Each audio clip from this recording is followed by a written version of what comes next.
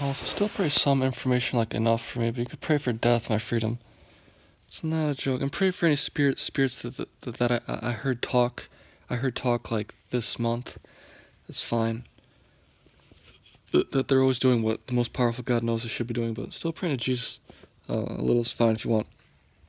If you want to pray to Jesus that you're always doing what He knows you should be doing, it's fine. But maybe I think still pray to the most powerful God a lot. But I think I saw the most powerful God. Know it's not a joke. What I need, uh,